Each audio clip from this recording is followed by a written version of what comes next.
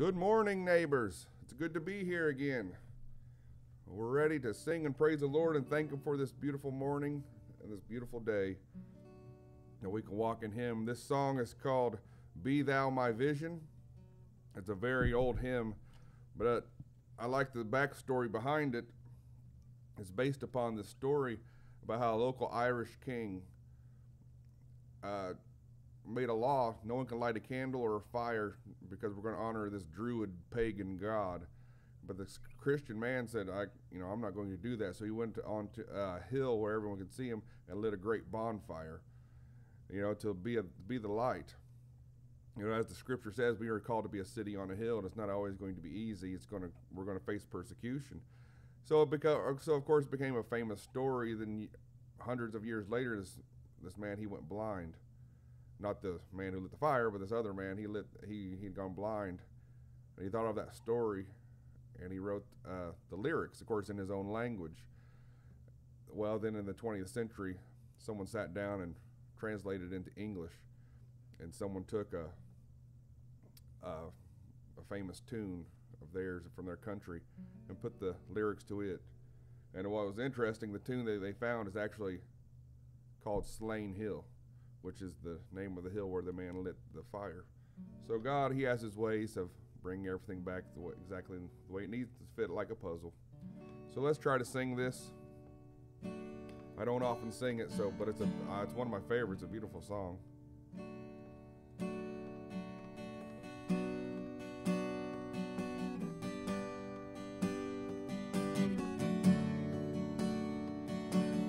Be thou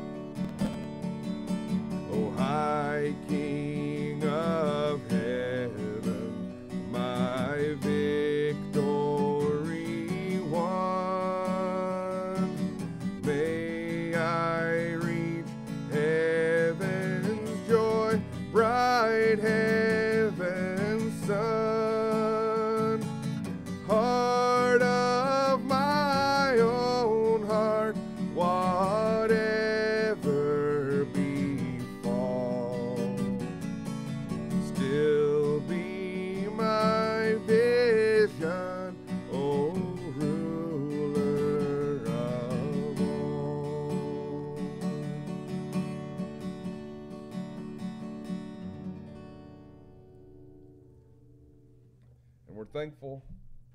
We are thankful for that, that He is still our vision. And if He is not, you can make Him your vision. He can give you the eyes to see, and we can see Him through the light, you know, of the truth. That's what we need His light for. It reveals all the truth, and it shows, and, and darkness flees. I like the fact that uh, light is active, dark is reactive. If you open a door, light floods in. If there's light to there to flood in, and darkness flees from that light. So wherever light is, the darkness flees. But we must make him our vision so we can see. In Acts chapter 9 and verse 1, it's a very famous story that uh, many of us learned in Sunday school growing up. And Saul is a very evil man. And so in verse 1 it says, And Saul, yet breathing out threatenings and slaughter against the disciples of the Lord, went unto the high priest. Think about that. I mean, he is breathing out threatenings and slaughter against the disciples of the Lord, the ones who would follow him, and desired of him letters to Damascus to the synagogues, that he may that if he found any of this way, whether they were men or women, he might bring them bound unto Jerusalem.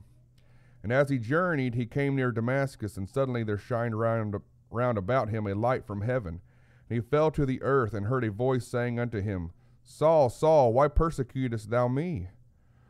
So he is so I mean, he's not even content. Just uh, I want to clear him out of my area. He he wants letters. He wants introduction to go into these places. And if I find them, I want permission to bind them and take them back and destroy them. You remember Saul stood there when Stephen, who they call the first martyr, you know, uh, of course Jesus was the first for uh, in the in the, you know, he is the ultimate martyr. After the, uh, you know, but Saul, he's got a hand in all these things. And he wants to journey to Damascus to find these people and drag them back. But as he's going, he hears this voice Saul, Saul, why persecutest thou me? And he said, Who art thou, Lord? You know, he sees this is power. What, what, where's his power coming from? And the Lord said, I am Jesus whom thou persecutest. It is hard for thee to kick against the pricks. And he, trembling and astonished, said, Lord, what wilt thou have me to do? And the Lord said unto him, Arise, and go into the city, and it shall be told thee what thou must do. And the men which journeyed with him stood speechless, hearing a voice, but seeing no man.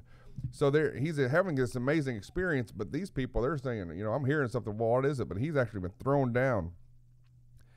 And he's being asked, Why are you doing this? Why are you persecuting me? And you know, it's a voice from Jesus. Remember, Jesus has already been crucified. But he's having, Paul is having this amazing experience. Then in verse 10, or Saul, his name's still Saul at the time. In verse 10, and there was a certain disciple at Damascus named Ananias, and to him say, said the Lord in a vision, Ananias. And he said, Behold, I am here, Lord. I mean, that's an amazing thing. You're hearing an audible voice, an Ananias. And uh, this isn't of Ananias and Sapphira fame. And the Lord said unto him, Arise, and go into the street which is called Straight, and inquire in the house of Judas for one called Saul of Tarsus.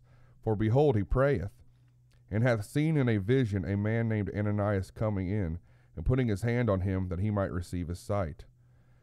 Then Ananias answered, Lord, I have heard by many of this man, how much evil he hath done to thy saints at Jerusalem. And here he hath authority from the chief priest to bind all that call on thy name.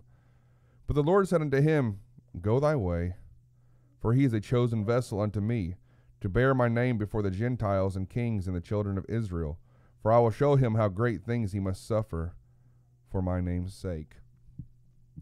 And if you go into the story of Saul, you know, his name, he's, you know, he takes on a new name, Paul, you know, that which denotes ownership. But I like it because if you read little details in Paul's life, he has a hard time with his eyesight after this. The blinding light that he sees in this experience, he but his vision has changed. You know, he went from a man who wanted to persecute the church to Jesus Christ is now my vision. I can see only him.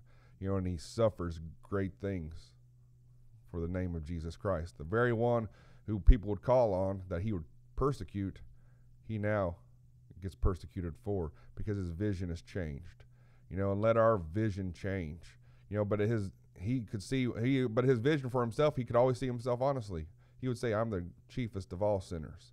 You know his grace abounding to the chiefest of all sinners. I persecuted the church. He was i'm sure he was probably his pride was oh my goodness this is you know to tell people that i did this. But you know what? When you're in the presence of jesus all pride just gets melted away and you realize what you actually are said i persecuted the church i did these things he can save you and now his vision became so clear. He had a clarity of vision. It's he saved me, he can save you. He can do this for you. I don't care what you've done. He can save you. And that is really the testimony of all of us. You know, if Jesus Christ our vision, it should really humble us. We don't see ourselves as so, such a great thing, but we want to, like this man, light a fire on the hillside and say, Look, you know, I'm putting myself out here because the king himself said, Don't do that, don't light a candle, and I'm lighting a candle up here on this hill. You know, a bonfire, really and let him be our vision. And I and I like in verse twelve, and hath seen in a vision. You know, we need a vision of what we can be, of what the church can be, and we go towards that. And even when we make our mistakes, we well, that's my goal, you know. And anything else in this world, if you make a mistake, you just keep on. Oh man, you're building a house, oh I made a mistake, tear that out. We're going to keep on doing. it. I'm not just going to give up on my house. So let us keep on doing this. Let Him be our vision today and look through His eyes. And, and everything will just become very clear if we can look clearly at Him. So God bless you. Have a good day, I pray. In Jesus Christ's name, amen.